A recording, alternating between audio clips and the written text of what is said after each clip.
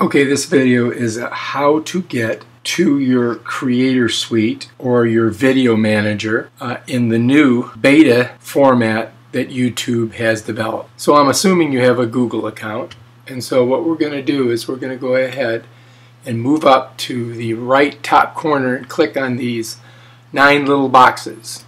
And it's going to give us a drop down. Then we're going to click on YouTube. I'm assuming you have a YouTube account because you're trying to find your way to your Creator Suite. So here we are. Well, we can't find it here, right? They don't put it over here, which is where you would think it would be. So what you have to do is you have to go over to your little icon or the picture that you used of yourself and just click on it. It's going to give you a drop down.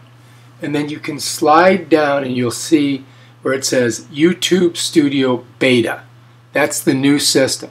Click on it and voila! There it is. It loads and this is the new format that they have. This is your dashboard. Over here's your last video that you put in. Here's some stuff that they want you to look at. Here's some more stuff. Here's your analytics.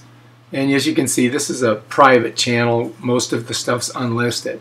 But if you drop down, here's your videos. You just click on it, bam, there you are. Now you're going to see the new format for your videos.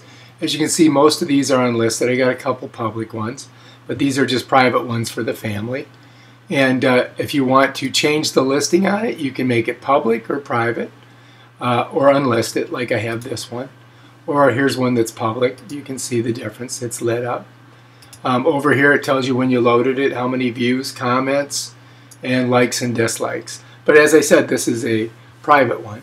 Here's got analytics, and this tells you, you know, all the information about, you know, this one's the number one video. Now, like I said, this is a private, you know, non-partnered uh, YouTube channel.